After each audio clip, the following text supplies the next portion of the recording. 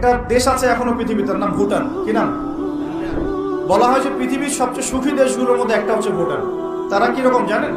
কৃষি কাজ করে হ্যাঁ কৃষি কাজ করে, দিন আনে, দিন খায়, চাষাবাদ করে, ফসল ফলায়। যে ফসল খাওয়া দাওয়া পর করার পরে যেটা বেঁচে যায় সেটা এক্সপোর্ট করে। কেউ কারোর সাথে হানাহানিতে যায় না হ্যাঁ ছোট ছোট ছোট পরিবার বিভক্ত গোজ্জীয় সেখানে গোজ্জীয় বিভাগ আছে কিছু। পলিটিশিয়ান পলিটিশিয়ানরাও আছেন। কিন্তু কারোর সাথে কোনো হানাহানি, কাটাকাটি এইসবে নাই তারা।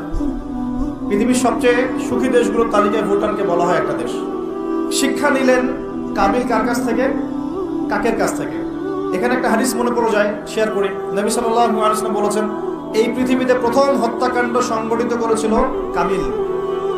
এজন্যই এই পৃথিবীতে যত মানুষকে অন্যায়ভাবে হত্যা করা হবে, বিনা কারণে অন্যায়ভাবে হত্যা করা হবে, এই সমস্ত খুনের যে পাপ এই পাপের একটা অংশ কাবিলের আমল নামায় যুক্ত করা হবে বলে নামজুবিল সপ্তাহে জারিয়া যেমন আছে, আরেকটা টার্ম আছে, সেটা হলো গোনাহে জারিয়া। এটা কি?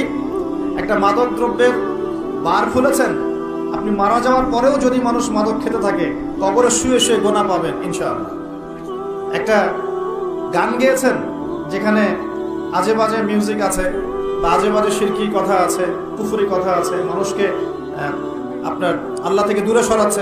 যত মানুষ সেই গান গাবে এবং শুনবে, আপনার মৃত্যুর পরেও কবরে শুয়ে শুয়ে সেই গোনা পাবেন ইনশাআল্লাহ।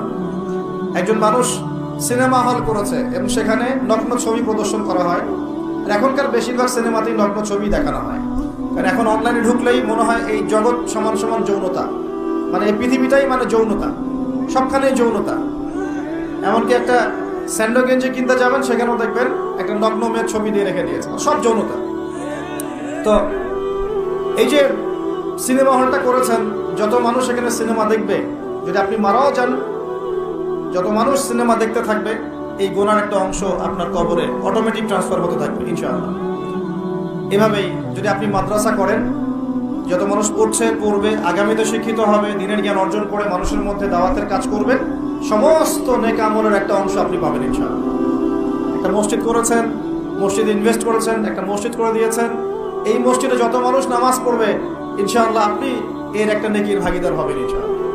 আপনি একটা বই লিখেছেন, অথেন্টিক, সুন্দর। এই বই যত মানুষ পড়ে উপকৃত হবে, আপনি কবরে শুয়ে শুয়ে নাকি পাবেন ইনশাআল্লাহ। ভালো কিছু বলেছেন, ভালো লেকচার দিয়েছেন, যত মানুষ শুনবে, আমল করবে, জীবন পরিবর্তন করবে, ইনশাআল্লাহ আপনি কবরে শুয়ে শুয়ে নাকি পাবেন ইনশাআল্লাহ না এটা সবচেয়ে সেরা ইনভেস্ট সবচেয়ে সেরা ব্যবসা।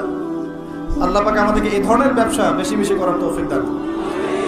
এখানে একটা প্রশ্ন আসবে যে হাবিলকে কেন কাবিল হত্যা করল? উত্তর হচ্ছে হিংসা। উত্তরটা কি?